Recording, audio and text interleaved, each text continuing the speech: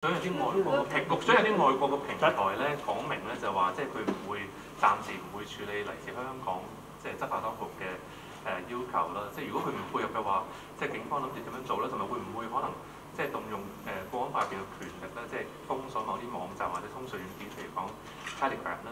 第二個問題係咧， 我哋可唔可以證實咧，即係喺呢個國安法嘅執行細實施嘅細則當中咧，其實係主要由北京當局係幫香港去做。你可唔可以解釋下保安局喺呢個細則嘅立法當中嘅角色係乜嘢？嗱，首先咧，我哋而家嘅其中一個措施咧，係要求個人或者網絡服務供應商等等咧，去移除一啲信息，而嗰啲信息咧係警務處處長合理地相信咧係可能導致有危害國家安全嘅罪行發生嘅。所以第一啊，呢、一個規限咧係嚴格嘅。第二，我哋係只係要求佢去移除，或者去令到他人不能夠再接收呢啲信息。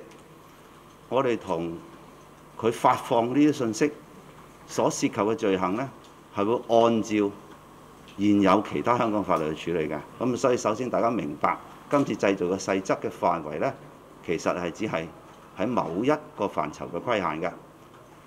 第二喺資訊自由方面，香港係開放嘅，所以任何人士喺資訊發放方面，只需要符合香港嘅法律呢，佢係同我哋平常生活呢，我哋一向嘅做法係冇差別嘅。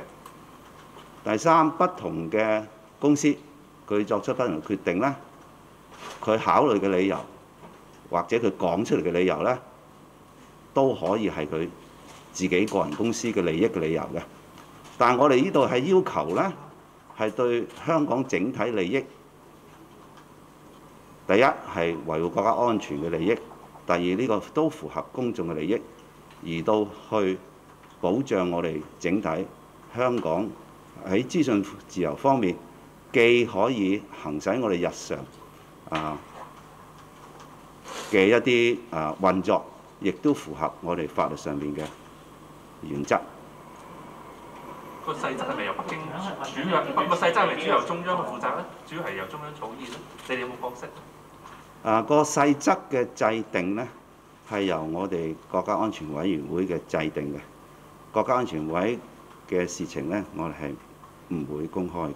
兩位想問下咧，即係誒而家喺國安法嘅誒實施細則底下咧，就賦予咗警權，即係佢哋相當大嘅警權咯。咁就想問翻，如果警方係即係執行呢一啲誒即係做法嘅時候有違規嘅情況，咁究竟個懲罰機制係點，或者係邊一個去即係監督住誒警方去做呢一啲事咧？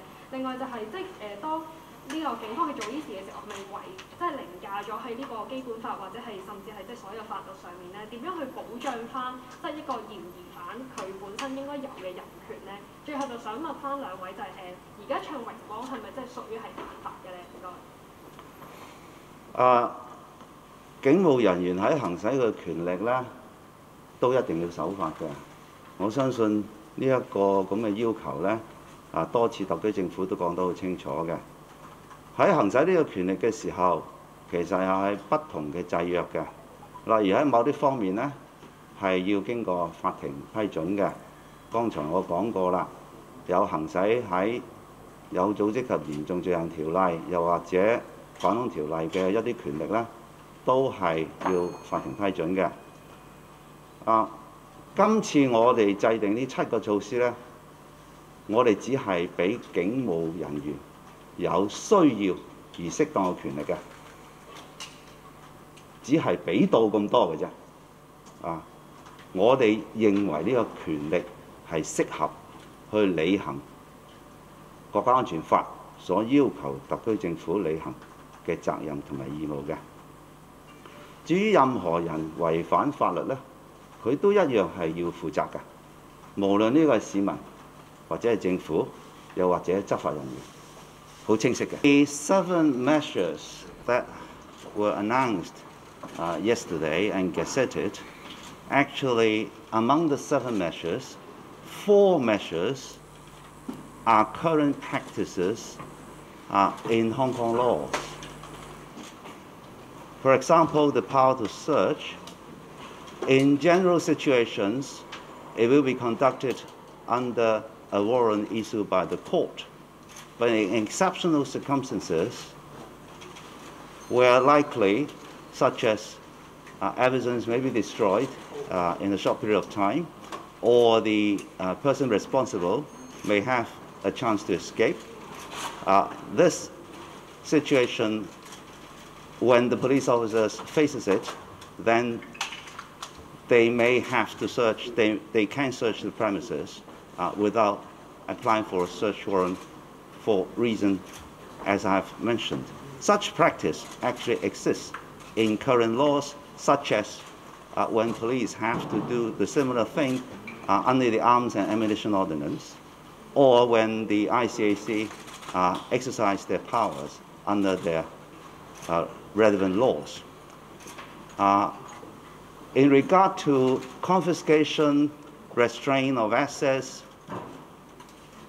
this is already uh, the practice in our Hong Kong law in the Organized and Serious Crimes Ordinance or the United Nations Anti-Terrorism Measures Ordinance.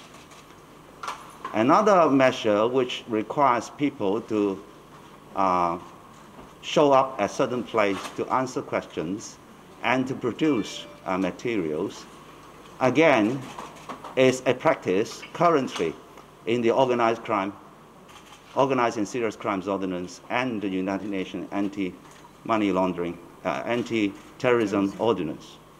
So these are all the current practices which we extend to cover uh, the new offenses created by the national security law. There is another practice which only ICAC officers has uh, under the present Prevention of Bribery Ordinance when uh, officers of the ICAC can require a person under investigation to surrender his passport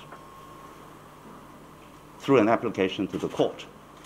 So we are extending this power so that uh, in respect of uh, national security offenses, then the police officers can apply the law. So all these four measures uh, are measures that are currently uh, in the Hong Kong uh, statutes. In regard to interception uh, and covert surveillance, again, this is a measure that is currently uh, in place in Hong Kong. But in regard to offenses or potential offenses in relation to national security matters, then chief executive will be the authorizing officer. This is not uh, a practice uh, that is peculiar to Hong Kong. In a lot of jurisdictions, including Western countries, in matters relating to, sec, uh, to national security, uh, there are practices that the government officials, such as ministers or prime ministers, can issue authorizations for interception or covert surveillance. Each place, of course, have their own uh, safeguards and scrutiny uh, as regard the exercise of the power. In our case, the exercise of this power will be scrutinized by the National Security Committee. And the National Security Committee may appoint an independent person to assist the National Security Committee to scrutinize uh, the exercise of such power. So this, again, is not entirely new. Uh, in regard to taking down messages on the internet which uh, may cause uh, occurrence of offenses in relation to national security.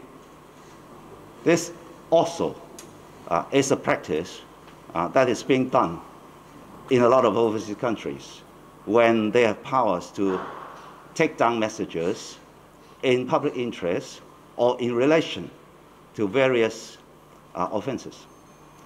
What we do now is the police has to have reason to believe that such information may cause occurrence uh, of offenses in relation to the national security law.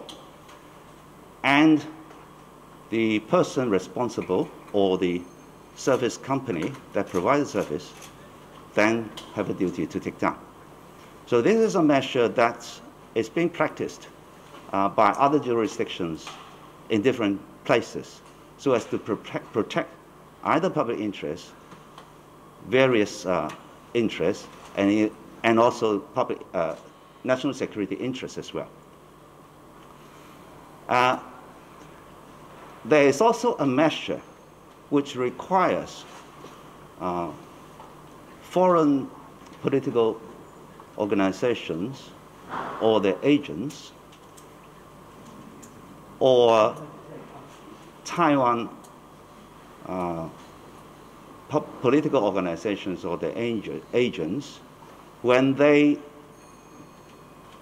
are in when they have activities in Hong Kong and the Commissioner of Police believes that for the prevention and investigation of offenses in relation to national security, then he can require uh, such persons or organizations to provide information.